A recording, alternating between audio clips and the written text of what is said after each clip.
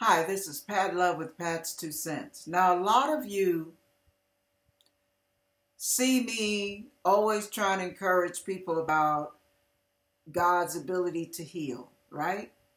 You hear me talk about how God can take out the hurt, God can take out the anger, God can take out the bitterness, God can take out the sadness, the depression. Yeah, true. But let me tell you how I know. When you look at me, I look confident. I look like I have it all together. Well, I'm confident, yeah, but I don't have it all together. No.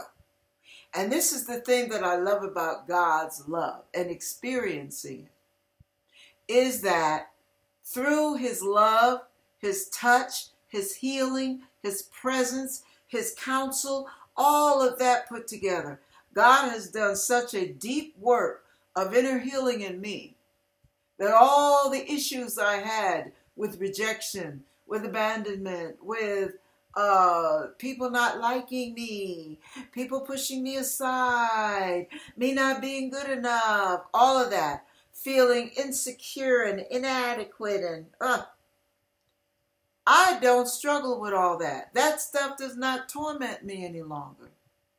And see, most of us, once we gather or accumulate those types of wounds and scars, they never leave us. But there is a Savior. And God, I'm telling you from experience, God can remove all of your insecurities, all of your self doubt, all of your self hatred your low self esteem, your no self esteem.